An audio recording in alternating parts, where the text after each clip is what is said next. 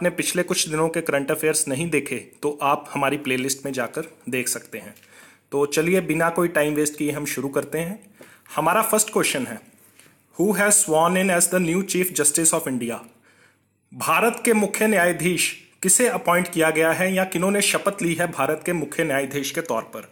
आपके ऑप्शंस हैं A justice Dipak Misra B justice Ranjan Gogoi C justice Iqbal Siddiqui या D justice K V Venugopal तो दोस्तों, इसका सही आंसर है बी, जस्टिस रंजन गोगोई।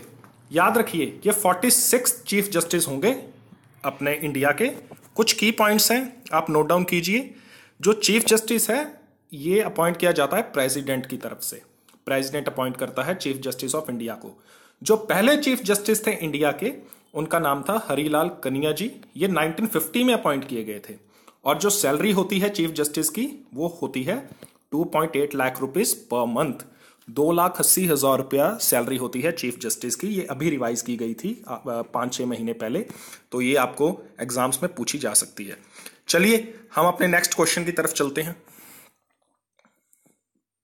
हमारा अगला क्वेश्चन है, which state government launches its on food security scheme on birth anniversary of Mahatma Gandhi?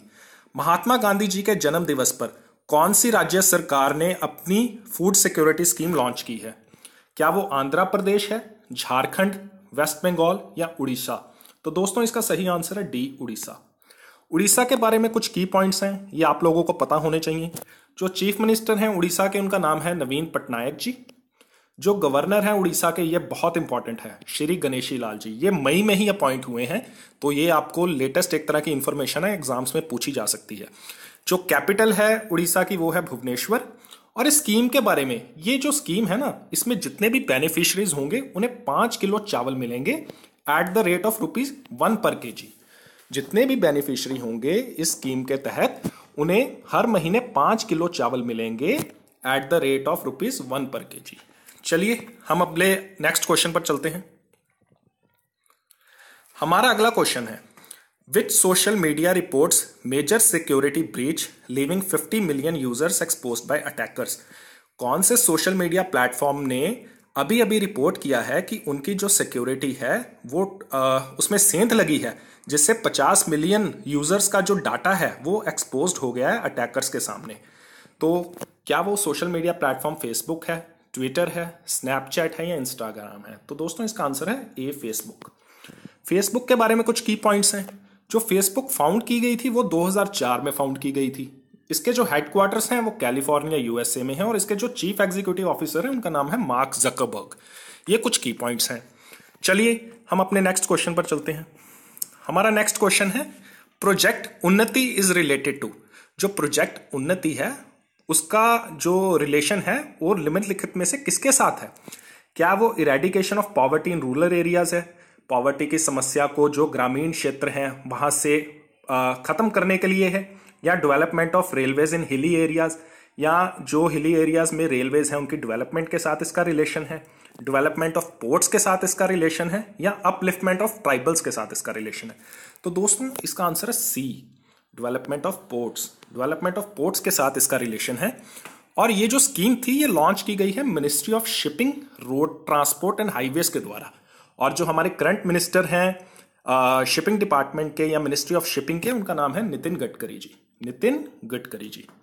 चलिए, हम अपने नेक्स्ट क्वेश्चन हमारा नेक्स्ट क्वेश्चन है multinational maritime exercise IBSAMAR six held between which countries जो multinational maritime exercise है IBSAMAR six वो कौन से देशों के बीच में हुई है? तो आपके ऑप्शन है ए क्या वो इंडिया, बेल्जियम और अर्जेंटाइना के बीच हुई है?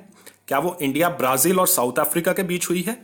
क्या वो इंडिया, रशिया और ऑस्ट्रेलिया के बीच हुई है या वो इंडिया, यूएसए और जापान के बीच हुई है?